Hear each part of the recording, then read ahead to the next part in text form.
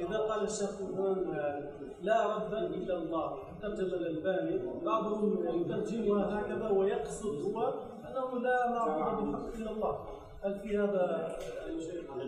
لأن بعض الناس يأخذون على بعض الشباب لما يتجاوز هذا ويقول لا رب إلا الله. يا شيخ شعيب انتهى الدرس ولا بعده؟ لا أنا أسألك سؤال لأنك أنت تتحدث. هل انتهى الدرس؟ أنا جئت لأتكلم إليكم. إذا انتهى تكلموا. أما إذا لم ينتهي انصتوا. صح؟ يمكن صاحبك يريد أن ينصت أنت تشغله. قل انتهى الدرس وتكلموا. أما ما زال الدرس قائما فالمفروض الإنصات. لي حق عليكم ولا لا؟ لا تزعلوا. طيب إذا أنصت حتى ينتهي الدرس.